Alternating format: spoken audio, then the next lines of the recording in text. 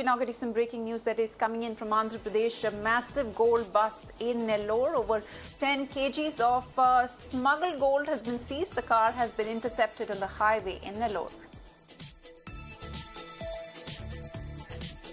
Let's go across to Somit, who is joining us uh, on the phone line for more details. Somit, what more details do we have on this?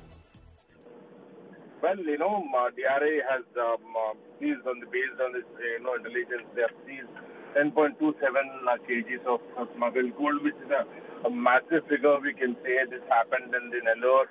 Actually, you know, according to the DRA officials, uh, you know, they have received some input uh, from their intelligence and uh, on the movement of uh, the smuggled foreign origin gold. Officers of the DRA intercepted a car on the highway near Venkatachalam Toll Plaza in the Nellore district and uh, on 7th June and later the investigation carried and uh, uh, investigation revealed that 7.7 kgs of smuggled gold, you know, foreign origin gold was cleverly, you know, concealed in a secret cavity in the rear seat of the car.